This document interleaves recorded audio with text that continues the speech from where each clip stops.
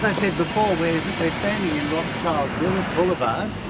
Uh, you're going to learn, so I'm not going to tell you too much before you see the film. Just a bit of an introduction, but the original vision of Tel Aviv was it was going to be like a little garden village with boulevards and beautiful houses. And everybody would have their own little garden around it, and um, it would be a very expansive village. Uh, the vision changed rather dramatically because uh, even though Tel Aviv was established in 1909, already in 1914 there was the eruption of the First World War.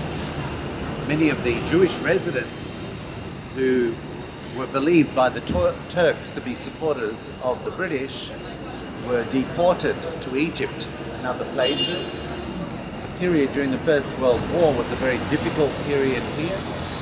After the First World War, the British arrived and Tel Aviv started to rebuild again the immigration laws to Palestine, as it was called before 1948, were relaxed somewhat, and Jewish immigrants started fleeing to Palestine from various sites in Eastern Europe as a result of pogroms. And so this ideal garden village that was supposed to have been built suddenly had to accommodate large influxes of population.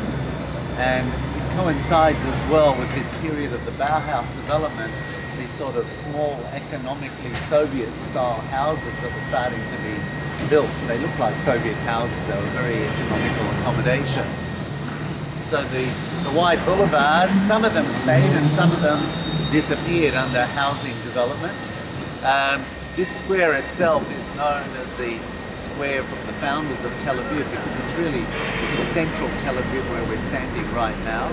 Um, this plaque that we see here, they're using a verse taken out of the book of Jeremiah 31.